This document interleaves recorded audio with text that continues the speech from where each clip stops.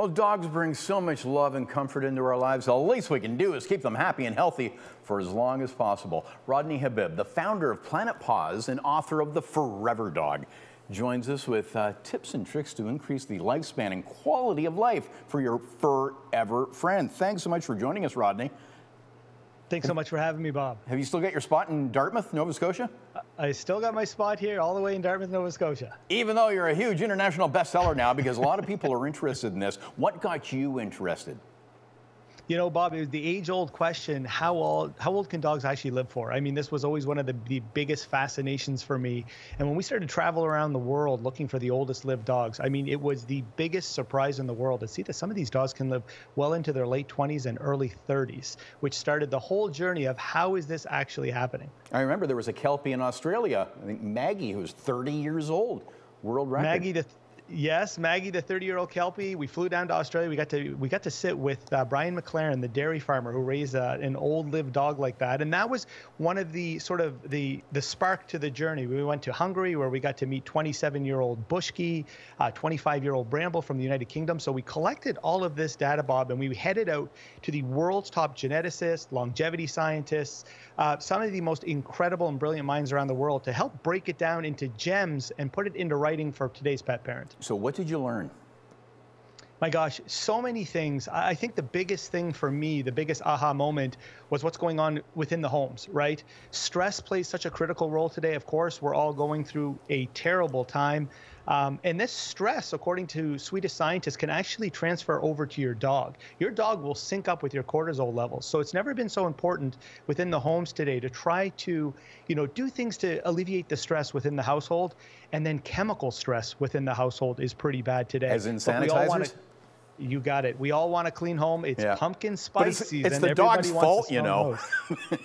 yeah, absolutely. We're constantly cleaning after them. Absolutely, but it's so important to know what's in those cleaners. Right. According to some of these scientists, those cleaners are building up within our dog's system.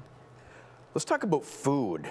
Um, it's not good to feed your dog. I mean, I have three Maltipoos, and it seems like on a regular basis, every three months or so, we'll get a little Maltipoo prison hunger strike, where they're just they just look at their bowls and then glare at us. But it, it's important actually to change it up, isn't it?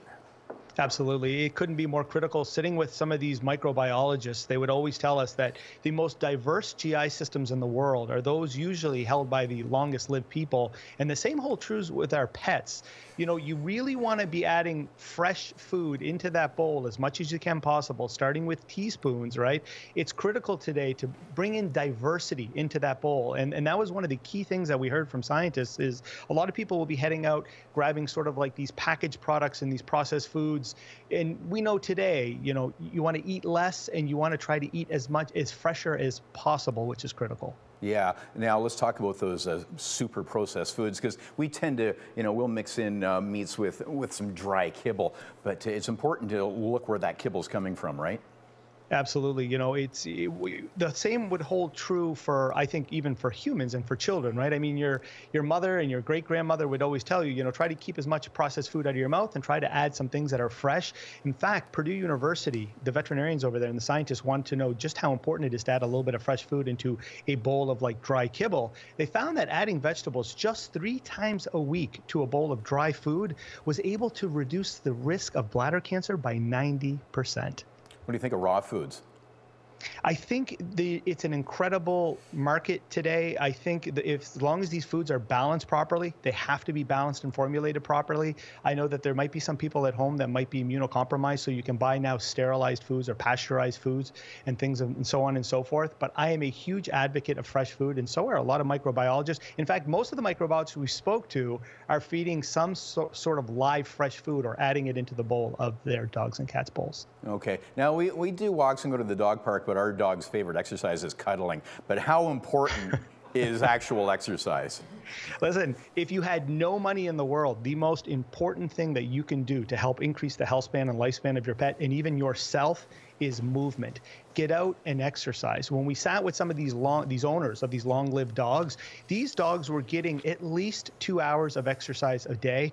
Of course, if you have an animal that's like older or injured, this is where you really want to sit with your veterinarian. There's incredible things out there like underwater treadmill and so on and so forth, but moving around in the park getting out into the woods, according to microbiologists, you're sharing the biome of the woods with your animal. You can actually decrease the likelihood of allergies by just getting out and walking in the woods a few times a week. Interesting stuff, and lots more in the Forever Dog. So we have seconds left, but how do we get the book?